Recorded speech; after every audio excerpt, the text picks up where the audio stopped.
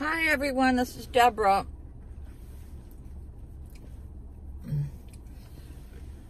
Today, we're going to talk about how I always ran away from my problems. And, um, I guess, um, yeah, I always ran away from my problems.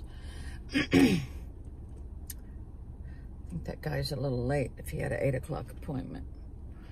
Yeah, every time I got in an argument with my ex, I would run to a hotel. I stayed in every hotel in Fredericksburg, Virginia.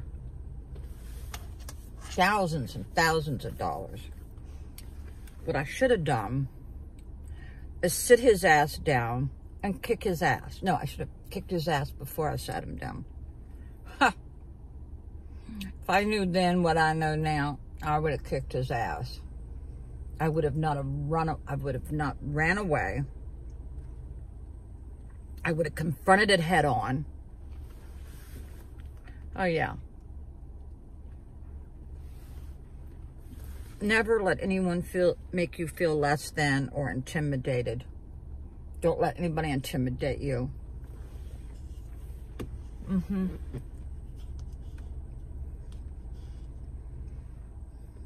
I was just so goddamn scared. I wanted just to get away. I wanted it to go away. And I would sedate myself with a Valium or or um, Xanax. But that doesn't do anything. It just delays your problem. So people don't run away. You confront it head on. The person who's making your life god dang miserable, you sit their ass down and you tell them the way it's going to be.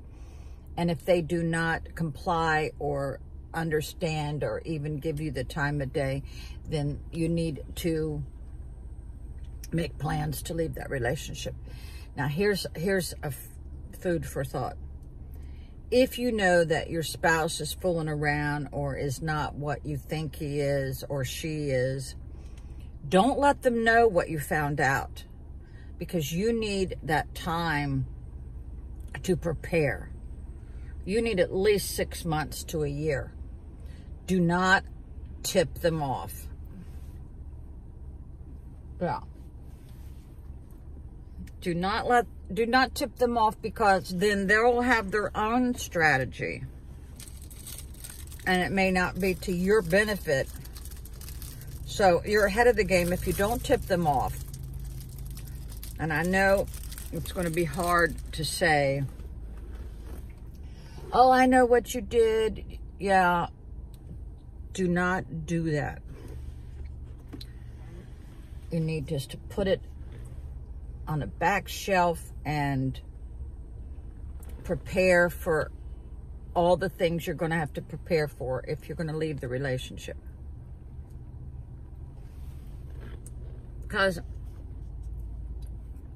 people will hide assets. People may get into a, another relationship immediately if they know you're going to leave. Don't tip them off start saving money, start preparing. That way you're ahead of the game.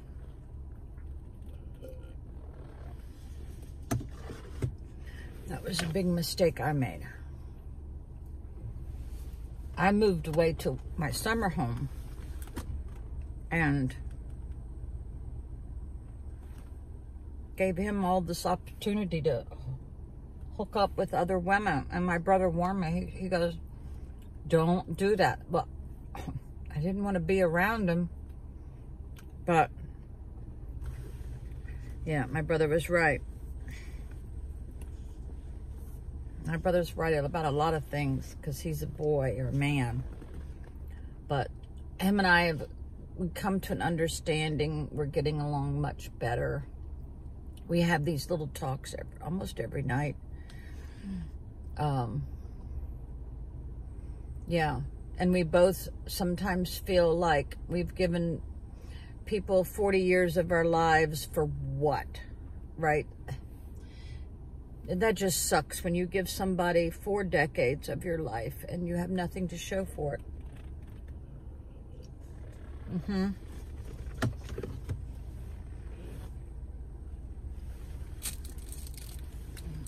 So I'm going to get ready to go in. Please, everybody, cross your fingers that I can get at least two of these things addressed today.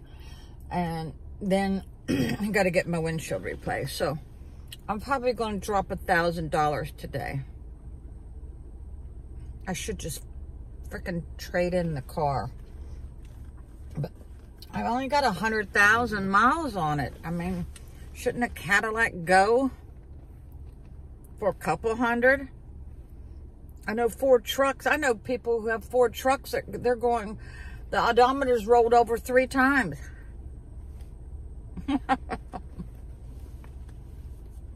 yeah. So.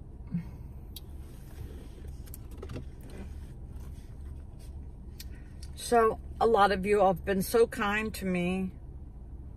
A lot of you all are so understanding, and it makes me cry to know that a lot of my subscribers are standing behind me.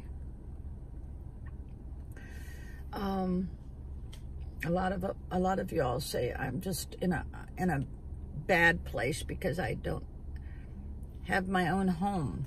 Well, this is what I'm thinking. Maybe I'll find somebody who wants me in their life and I don't have to buy a home. I can just live in their home. See, that's that's my hesitancy here. Um, because then you got to go through the whole thing of moving that furniture, then moving it out, selling the stuff. because when my spouse got married, she moved all her furniture into our office that I helped build. And um, she had to sell her house, I guess. I've never met her my spouse wanted me to meet her and no, I don't want to meet her. It's the last thing I want to do. I wish her well, but God, she's going to need it.